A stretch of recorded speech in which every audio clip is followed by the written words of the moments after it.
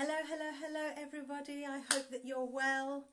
Welcome to you. If you're watching for the first time, my name is Nicole Louis of NicoleMLouis.com and the creator of the Independent Social Workers Launchpad. Welcome to this space. Um, we're here on Facebook in a private exclusive group for social workers who are interested in independent practice. And yeah, I just want to welcome all our new members. Um, just a reminder that there's loads of content and information in the video section and some resources also to help you get started on your journey to independence. Um, and welcome, of course, as always, to our existing members who helps make this community happen. Um, so welcome to everybody.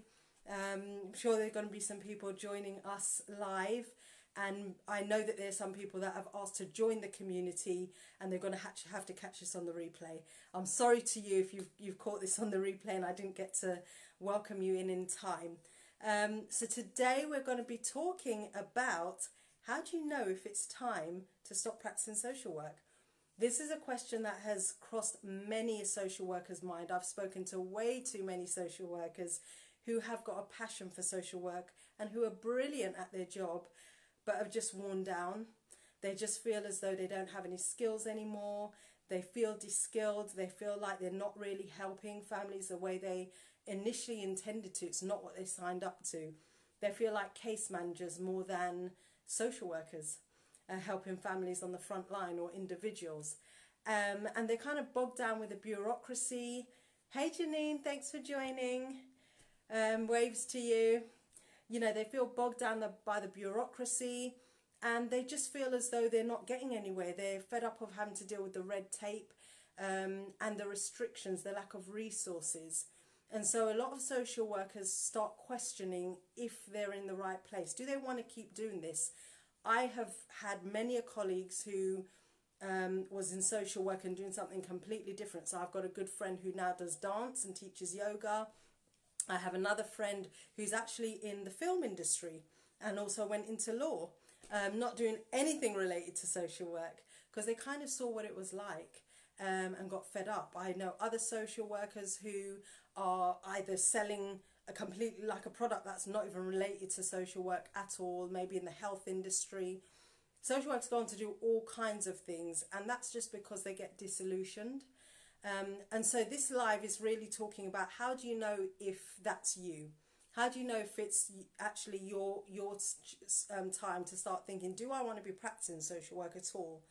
Because one thing about going independent in practice, as I've done on other, as I've said in other lives, it's something that you really have to have a passion and determination for, and you have to have drive if you're going to be running your own business. And once you start that process, yeah, you could stop, but there are consequences to that, especially if you've got a family, if you've invested money um, into your business. You've got to be, have a take a calculated step and take a calculated risk. And so I'm hoping that in this live that that would really help you to do that. So we're going to be covering three main things. Firstly, we're going to be covering um, you being able to know yourself and understand yourself as an individual. What is it that you want, and and how, what do you know about yourself? Okay so that that would help you to determine whether or not you should be still practicing social work whether you want to you can start making a bit of an analysis and reflection. The other thing we're going to be covering is the signs and symptoms that might be telling you mm, i'm falling out of love with social work. And thirdly what is your goal? What is it that you really want to achieve? Yeah? And some of that may be aligned with independence and some of it may not because some people think okay i'm going to go independent because maybe that's a natural course or direction and actually sometimes it may be just about stepping away completely and that's okay. It may be something that you come back to at a later time social work in your life. Um, and so we're going to be covering those kind of things okay? So let's get started. So firstly knowing yourself and understanding who you are. We all have different personalities. We all have different strengths um, as individuals and one thing that I'd like you to do is take an inventory. Um, it's reflection, it's Think It Thursday, and so this is often time when we start reflecting. Yeah, reflecting on what our week has been like, and I always say start reflecting on the goals that you want to achieve uh, for the following week to come. We're going to be sharing that on Sunday, sharing those goals. So as part of that reflection, I'd really like you to start taking an inventory and start thinking. Get your pen and paper out and start making a list. Um, a list of your personality traits, okay? Whether they're good, bad, or in between, okay? Everybody's got different personality traits. Start writing them down and come up with at least five elements of your personality, five words that describe how you are and the kind of things that you do, the way you think. You also want to be thinking about what kind of um, personality lead you are. So you know you have choleric, you've got sanguine, you've got phlegmatic, you've got melancholic, okay? And many of us will straddle two of those lanes, but there's always a lead. So I'm kind of a melancholic with a choleric lead, okay? And sometimes they can change around, but melancholic is more of your subdued, kind of, um, not laid back, because that's more phlegmatic, um, but you're kind of you can be very kind of down and a bit pessimistic at times. These are things that I've really had to work on. Those are all the negative sides, I guess, of these these um, quadrant types. Okay, and cholerics are leaders. They um, can be bossy, can be bossy. you know, great leaders though, very motivated, go getting. So start listing some of those things down. Okay.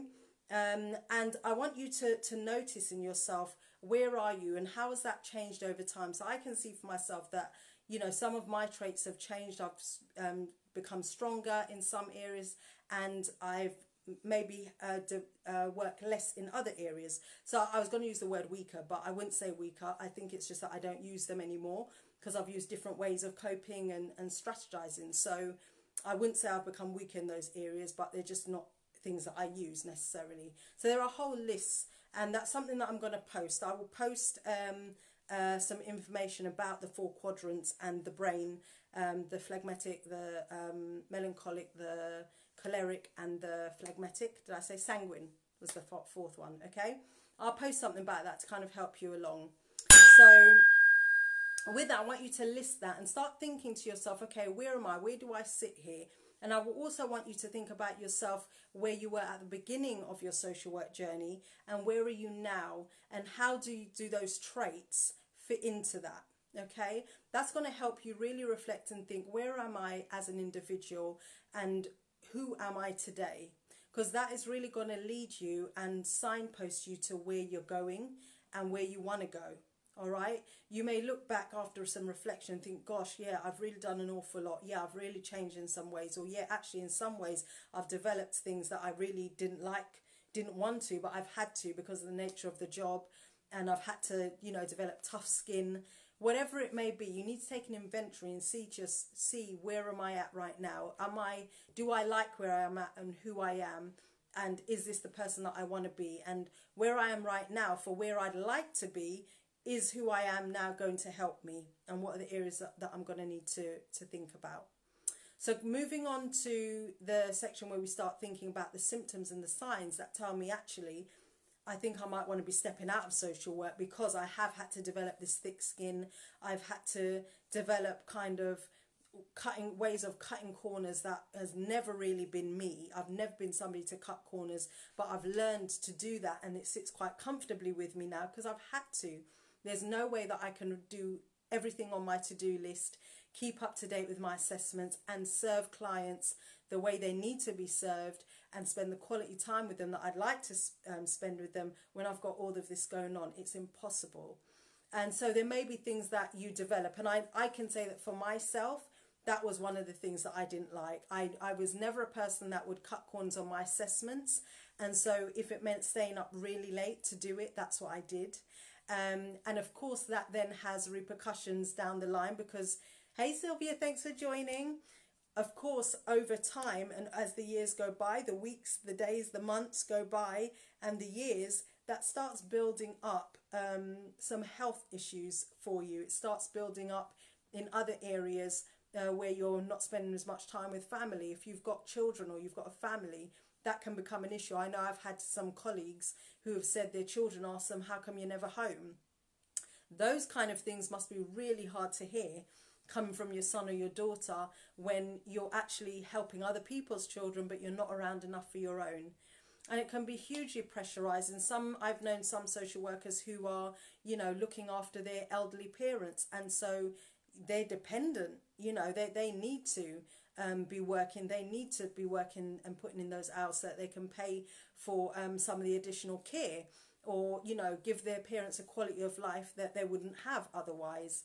Um, I've had other social workers who, again, they're the main breadwinner for the family because their uh, partner works perhaps in a job that doesn't pay so much, and so you know they're the ones that are is bringing in quite a decent salary, and so they can't afford to not work.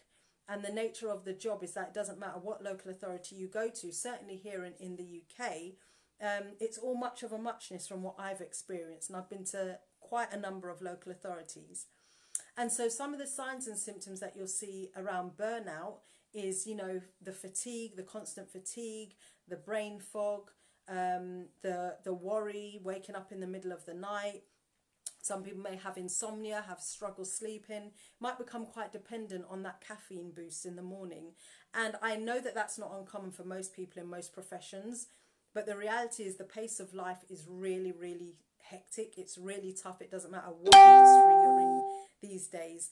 It seems to be a way of life. And so it seems that the majority are quite dependent on stimulants to keep them going. But that is definitely one that you want to be thinking about and considering. Um, other symptoms might include um, stress, anxiety, depression as well. And I know that might sound strange because we're social workers and we work with clients with depression.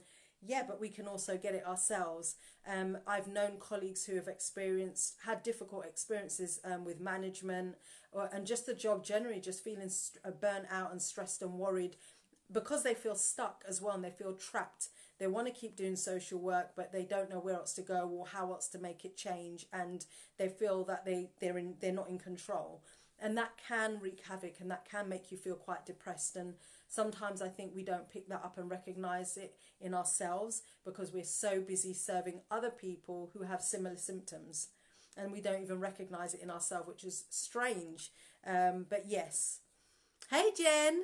Great i'm glad that you could join us today i know usually you're feeding baby at 8.30 right so today I was running late as usual in traffic. I'm, I'm working um, on a project at the moment and I've got clients in a particular uh, geographical area and just the weight of traffic getting back is a nightmare.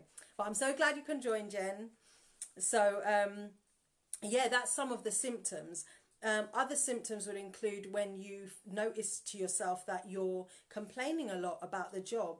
If every day you go in and you find something to complain about, and you so much so that you make mention of it and i don't mean that in a critical or bad way because we're i think us brits we're really good at complaining. We complain about anything. Like the weather was really hot a couple of weeks ago. We complained. That's just what we do. Yeah but what i mean is if you're going in so much so that you know certain things that might come up. So for example you might be doing a particular piece of work on the laptop, on the computer, on the system, and something happens, there's a glitch in it, or you find that you've got a whole nother lot of paperwork to do because it's part of the bureaucracy that comes along with social work, and you feel so um, kind of downtrodden by it, but that you either speak out about it and complain about it to somebody um, or that you in within yourself it just makes you feel like so suppressed and so oh my god i can't believe i'm having to do this. I really hate this. I don't want to do this. And immediately your thoughts start going into like a washing machine cycle that god why am i doing this again? Why am i here? You know i really hate this this this job. I really hate this part of the job I don't know if I want to do this anymore. If those kind of thoughts are coming to your head, then those are some other signs that are telling you maybe it's time to step away from, from practicing social work. Um, if you've actually taken some steps to sit down and actually start writing things down and saying what other jobs are there that I could do, what other things might I like to do, you may have explored that. And I know, again, many social workers I've spoken to, they might want to do pottery, some might do art, some might do something just completely different. I've got social workers who do date DJ, and I know social workers who are DJs at the weekend. Never come across that until recently. Um, but yeah, different things. And if people are thinking about moving into something else full time, then that is telling you that that's a definite sign and symptom that is telling you maybe it's time for you to step away from social work. Yeah. And again, that may not be step away forever. It might just be step away for some respite, have a break, Um, many social workers, if they're agencies, they may say, I'm going to go on a, a month's break. And that might be all you need to just take yourself away for a month, do something different, um, or nothing at all, even better. But the reality is, the majority of people don't have that. The majority of social workers that I've come across have got families, oftentimes young families, um, or families that are kind of in the teenage to, to adult years. You, you're kind of flittering between between those three areas, as far as I know, and that I've experienced in all the social works that I've met. So it's really important that you're able to recognize the signs, the symptoms for yourself that are making you think, where am I? Does this fit and align with who, as I said in the, the previous task, um, who I am now, who you were before? And, you know, is this part of the journey that you wanted for yourself? So Sylvia's saying it may be that you need an outlet. Absolutely. Absolutely. And that's that's the thing about work life balance. And I've done a live video about that as well, about how do you really have work life balance. Um, and the reality is there's no such thing as an, a complete balance. It's always going to teeter, isn't it? Because sometimes we go through bottlenecks, we go through periods where things are really busy. I've experienced it myself, even as an independent. Sometimes life, work-life balance wane, but work-life balance is um, a rule as opposed to the exception. When I was in local authority work, it was the you know it, it was the work-life balance was not a thing. I didn't have work-life balance I was overworking myself all the time. That was the rule. And so, you know, it's it's taken those things into stock as well. So Jen says, I've been there. I took up running instead of comfort eating through my stress. Brilliant. And that is so healthy. I'm I've got asthma, so you will not catch me running unless I've got to run for a bus. And even then I'll be like, I'll catch the next one. I really don't run for anything. I really don't but that is a brilliant outlet it's so healthy it gets all the blood rushing through and the oxygen going through all the cells it's feeding the brain it is a brilliant outlet to do exercise to, to um, work on stress a lot of people comfort eat a lot of people um, self-medicate with cigarettes and sometimes recreational drugs because yes social workers do that too um, I've come across social workers in the past that have said, yeah, they've they've tried cocaine and they've done things like that, which I'm flabbergasted at, but it's a reality, clearly. Um, and you know, so finding healthy outlets, uh, as both Sylvia and has just pointed out, is so important. Um, Sylvia's saying social work should not be so all consuming. So we have so many, as we have so many aspects. Absolutely. I mean, as as individuals, we're physical, we're mental, we're spiritual, we're sexual, and we're social beings and so it's with all of those different layers we need to be experiencing on a daily basis or a weekly basis you know we need to have um, like you said outlets and we need to be in touch with all those different sides of ourselves and if all we do is work and we're working in a profession which is not only physically demanding it's mentally and emotionally demanding we deal with a lot of trauma you know we work with people that have you know are dangerous individuals. We work with individuals who have experienced trauma and we have to hear those traumatic events and become secondary victims of trauma. We have to go through all sorts of things. We have to sometimes remove children. If you're in the children family space, I can remember the very first time I had to remove a, a, a baby from a mother. I've had to do that on three or four occasions, I think I've had to remove children. That's traumatic. It is not a nice experience and we have to deal with these things day in and day out. And and i think we just kind of get on with it because it's part and parcel. But we don't actually recognize the post-traumatic stress symptoms that we can experience from it um, I mean, I don't know, I, you would have heard me say on other lives, I don't know how many of you watching this have ever had experiences where you've had to have the police involved because clients have been harassing you or stalking you. You know, we, we deal with some really serious stuff. We deal with some high profile cases. Sometimes that's in the media. I know I have. Um, you know, it's no joke. It's not for the faint hearted. And we have to deal with that as well as dealing with other professionals and boundaries and professionals not understanding who we are, what we do, all of those things come into play.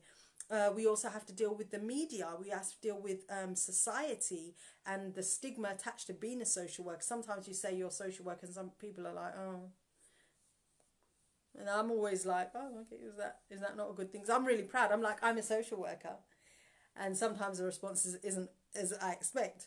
but you know that's what we have to deal with and that then we that doesn't even include like our own personal lives and our family issues and our own issues that we may have may or may not have. You know they're huge things to, to consider. And so that takes me on to the third and final which is thinking about um, where do you want to be? You know what is your goal? What is your end goal? You know that will tell you whether or not you want to step away and stop practicing social work. Because as you know there are alternatives a lot of social workers just think, well, right, I have to put up and shut, shut up, or I just leave the profession. Actually, no, there's there is a middle road, and it's a wonderful road. It's a road of independence, and so you've got to consider to yourself, what are my goals? What is it that I wanted to achieve when I started becoming a social worker? What was it that I envisaged that I hoped for? And since you've been working, what are the skills and the tools that you have developed? That you can actually pull out of yourself and remember that you actually do have that you can actually implement and start saying let me create something let me create something that hasn't been created um, before or make a service that's even better where some somebody is in this space doing what I would love to do. There's plenty of room for everyone. How many estate agents do you see on a one high street or sweetie shops or Sam chicken so- shops? Um, that's okay. I'm talking about UK shops now. Um, you know, whatever country you're in, there's always going to be more than one of those shops, right? Aren't they all making money? Aren't they all in business? Absolutely. So there's room for everyone.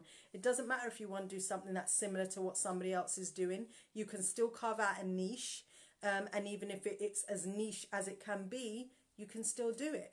And that is your other alternative. But it needs to be aligned honestly with where you are and is that what you want to do and where you want to be? Because it may be that you feel, feel to yourself, I just want to take a step back for a little while actually and do nothing related to social work and just go rediscover myself. And I have a resource um, that I had posted a couple of months back, I think now, um, where it kind of takes you through your skills and help you revisit some of those things if you're stuck um, for what for, for where to go next. And again, as I said, all of this kind of stuff is going to go deep in the course. It's going to go really deep and take you for a step by step structure that helps you to unpack that. Um, so let me just look at some of the comments um, to our personalities. Yep, ebb and flow. It's back to that need for self care being paramount. If not, we won't have much to give. Absolutely. Sylvia, you hit the nail on the head. I was just um, saying earlier on that, you know, in order for, for us to be advocates, we have to be able to advocate for ourselves. And I found that social workers aren't very good at doing that. I found the majority of social workers say nothing. They just put up with bad treatment um, and poor treatment and, and kind of doing what they're told, you know, been told to jump and saying how high, and they're not happy and they're just suffering in silence. And I don't advocate for that at all. I think it's important that you speak up, and when you speak up, if you don't get what you want um, through negotiation, then you you make a choice. You've got to make a choice, but the choice is always ours. There's always a choice, even if you make no choice. That's a choice. I'll say that again. Even if you make no choice, that is still a choice. Okay? And then whatever comes as a result of that is what you then have to deal with. So we've got to take responsibility and start making our lives and carving out our lives the way we want it to happen. I want to shout out again, like Jen, you know, she took action. She said, I'm not happy with how things are. She left her job. That was a hugely brave step. She's on maternity leave and decide that she's not going back. That's a huge, huge step. And she's now took action, got a job, starting doing other things and doing brilliantly. But that would never have happened if she just put up and shut up and stayed where she was and said, okay, after maternity leave, I'm going to go straight back. We've got to take accountability for ourselves and for our own lives. The time is today. It's absolutely right now. It starts with the thoughts and then you start putting that into action. So I'm going to read the last comment. Jen says, definitely agree. Sit down for the most of the day, but come home exhausted. Yep. A supportive partner friend is crucial, I think. Absolutely. And I've covered that also in a video about a support network. You, I would not have survived even as an independent social worker without that support network because you've got the isolation and I was learning business as I was going and you know having somebody to talk to that's on a similar journey has been absolutely crucial and amazing. So thumbs up. I absolutely agreed all of those things. So thank you to all of those who um, have joined and participated. Jen, Sylvia, and whoever else, and Janine, thank you so much for joining the live, and thank you for those on the replay. Put your comments um, in, and please do the work. If you you joined halfway, go right back to the beginning, and I I asked you to get your pen and paper out and start scribing and making a list, and I and I will um, post about the four quadrants of the brain, so you can start looking. I'll send you a link um, of what I use. And it was a sermon that I watched actually that went into great detail about this. Um, but I will share just something that is a, probably a PDF um, for you um, so you can have a look at that and that will help you in your task. So think about, again, just in summary, you know, who you are, where have you developed as a practitioner from the start of your social work journey to where you are now, um, and then second of all, the signs and the symptoms. What are the ones that I spoke about that resonate with you? Be really honest with yourself. Where are you? And you, there might be others that I didn't list because not an exhaustive list, because um, different things show up differently for different people. And then finally, where do you want to go? What is your goal? And from the first two tasks that you would have done, will that help you on a journey? Is it a time where you say, I just need to step back actually? Or is it a time where you say, yeah, I want to go forward. I want to move forward. I want to do something different. I want to take charge. I want to take control of my life. So I want to encourage you, whatever you decide is perfect for you at this stage in your life. And I'm just thankful that you allow me to um, help you on this journey and to be with you all. Thanks, Sylvia. Good night to you too. Um, thank you for helping me, allow me to be part of your journey and you being part of my journey too. Um, I love that you guys are in this group and how engaged you are and stuff. You're very welcome, Jen. And yeah, we'll be back again tomorrow. So, and I won't be in this location. I'm going to be in a different location again. I'm going to be moving about a lot over the next two weeks. So, I will tell you where I am tomorrow. I'll see you then. Take care. Have a great evening. Bye.